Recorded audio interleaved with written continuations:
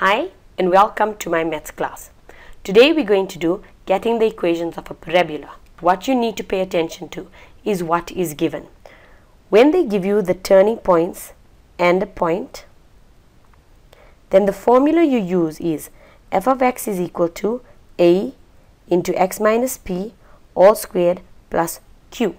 Now you substitute first your p and your q. Now what you must remember is that we found that the department doesn't always put minus p. So I'm going to show you what happens when they change that equation. But standardly it's x minus p all squared. So first you substitute your p and q. Number two, you substitute your point. And your aim is always to solve for a. And then depending if they ask you to rewrite it in a certain form, then you would simplify or get rid of all brackets depending on what they say. Now, let us look at the equation. Let us substitute and do our work, right?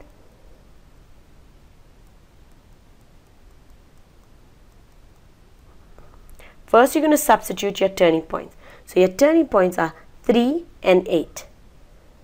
So, I have y is equal to a x minus 3 all squared plus 8. Now what I want to show you here is that you know that this must be opposite to what is in the drawing.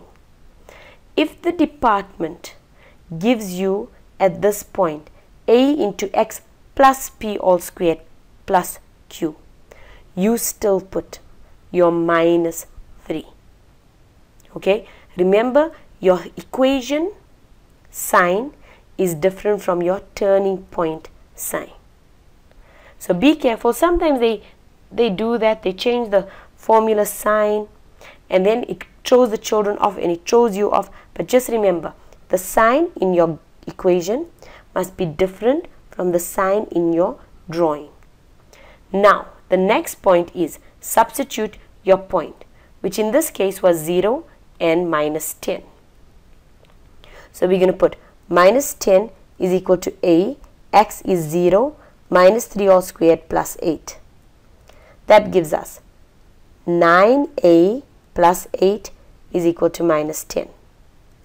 I've got 9a is equal to minus 18, a is equal to minus 2.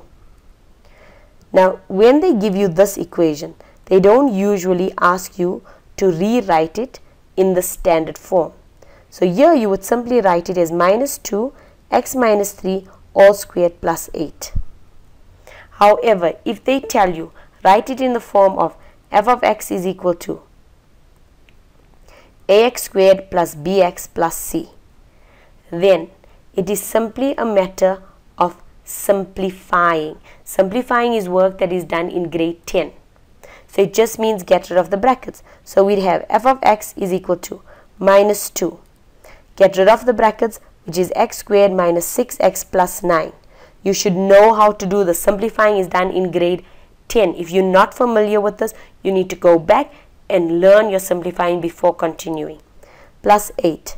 Then we're doing our distributive law which is minus 2x squared plus 12x minus 18 plus 8.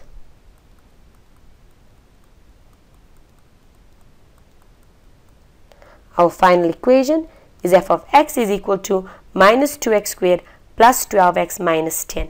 But again, I'm telling you, usually when they give us this specific one, where they give us a turning point and point, they expect us to stop at this level. It's not always that they ask for it in ax squared plus bx plus c. Thank you for watching.